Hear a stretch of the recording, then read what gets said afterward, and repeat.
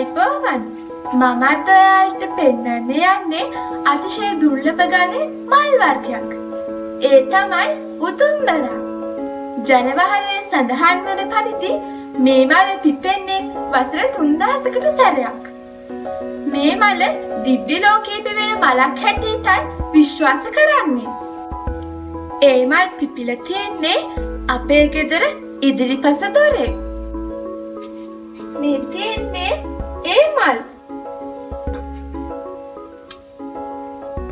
මේ මලේ විශ්කම්භය මිලිමීටර් එකටත් වඩා අඩුයි.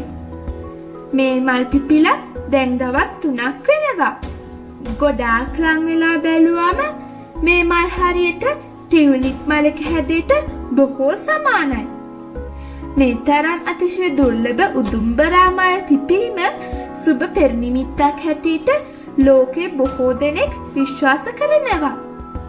බෞද්ධ සාහිත්‍යයේත් උදුම්බරා මල් ගැන සඳහන් වෙනවා. මේ වගේම වීඩියෝකින් අපි ආයෙත් දවසක හමුවෙමු. ඔයාලට සුබ දවසක්!